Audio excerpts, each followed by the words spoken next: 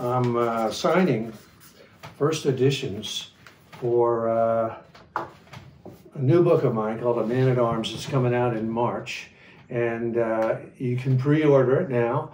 And I just wanted to make one point that because of COVID now, there won't be any book signings for me or for anybody. So these first editions that will come out now will be the only ones. There's going to be a thousand of them available for pre-order from Vroman's.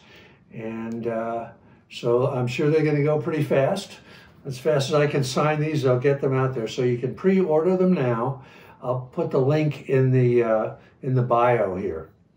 This is a Man at Arms, a thousand first editions. Once they're gone, they're gone.